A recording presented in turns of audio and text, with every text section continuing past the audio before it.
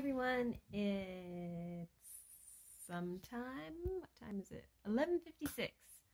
I went to the Enkai. I didn't get very drunk at all, actually not even drunk, um, but I had a really good time. So an Enkai is, uh, all the co-workers come together and in Japan it's sort of the chance for the workers to sort of let their hair down and have a good time and a little bit like Vegas, what happens at an Enkai stays at an Enkai.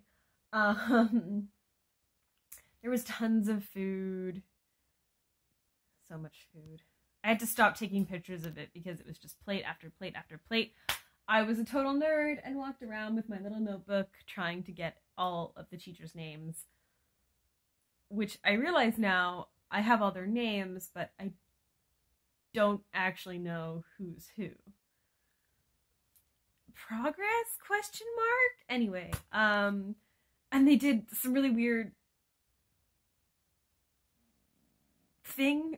They were I think they were sort of reenacting a comedy act where they sort of pretend to fight and then they fight fight fight and then the two guys they sort of like pretend to kiss. But I only saw the pretend to kiss part. So I look over and I was like oh what's going on? Hey more power to you but I'm confused. Um anyway and then we some of us went to a different bar afterwards. Um, the Enkai was held in a like a place. It's like a club, but it had a really cool, uh, like very small dining hall that we ate in.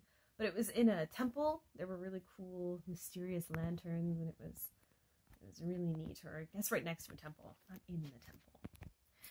Anyway, afterwards, some of us younger teachers and a couple of the old ones.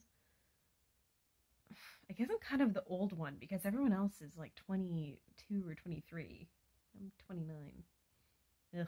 Anyway, um, we all went to uh, this bar and there was more drinks and more food. I didn't really eat anything.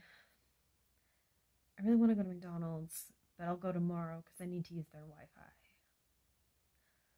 um, but yeah, it was a really great night. I got a chance to meet my teachers more. Um,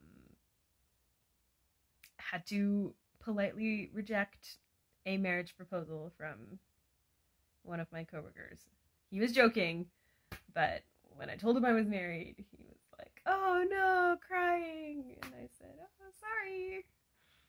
Uh, awkward. Anyway, um, it was really funny, and everyone was laughing. So I had a really great night and I'm still in my nice dress, but I'm sitting in my bed. I got my socks on. And that's how I'm living my life right now. Um, yeah, my bed's on the floor, by the way, which is great. I actually really like it. Super comfy.